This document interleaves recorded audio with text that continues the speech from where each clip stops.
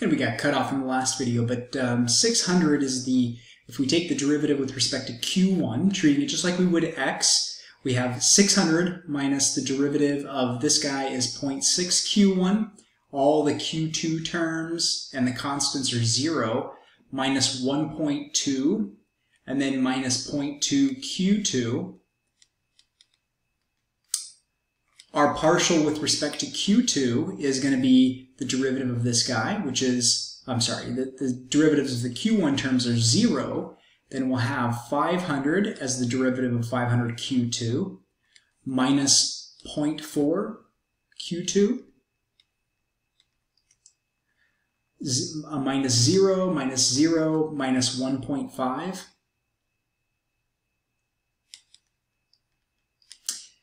And uh, back here, we should have said, this is, uh, we missed a term here. This is minus 1.2 is the derivative of 1.2 q1, and then minus 0.2 q2. So here, for with respect to q2, the derivative of that is negative 1.5, and the derivative of that term is negative 0.2 q1. And we want to set that equal to lambda times the gradient of g. Now, if we take the derivative of 0, we're going to get 0. And if we take the derivative of 0 with respect to a different variable, we're still going to get 0. So our equations basically are line 1 equals 0, line 2 equals 0, and then our final constraint is 0 equals 0. That's our g of xy equals c. But remember that we just said that there is no constraint, so 0 equals 0 is always 100% valid so when we solve that, we actually find, here we go, here's our two equations. The first one equal to, you could, you could put an L times zero here, but it's not going to make any difference. The second equation equals L times zero. And then I'm avoiding putting zero equals zero because that's a true statement no matter what. So you don't need that in there for unconstrained optimization. And when we scroll down far enough, we see that the solution is Q1, you should sell 699 or produce 699.1 units of product 1 and 896.7 units of product 2. If you want to determine how much you should sell them for, recall that back here, P1 is, once we know Q1, that'll tell us what price to sell product 1 for. And once we know Q2, that tells us what price to sell product 2 for.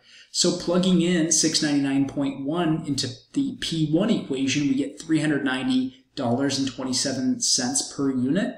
And if we plug in 896.7 for quantity 2, we get that we should sell product 2 for $320.66 per unit.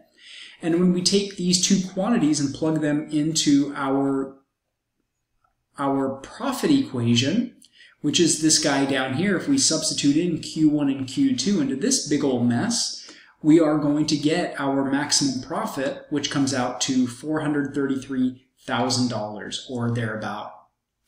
So we've now demonstrated how to solve constrained optimization problems and unconstrained optimization problems, the only difference being that for unconstrained optimization, we just we, we let g of xy be the zero function, and because the statement 0 equals 0 is always true, we can basically take advantage of this constrained optimization process by basically setting the gradient vector equal to 0, and that produces us with a optimal point, not barring or not being limited to any specific point. For example, here g of xy was the function 40,000x plus 10,000y equals 600,000.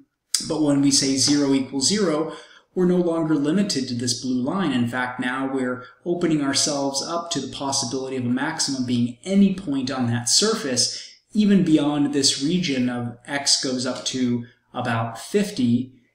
We are not limiting ourselves to any region of this curve.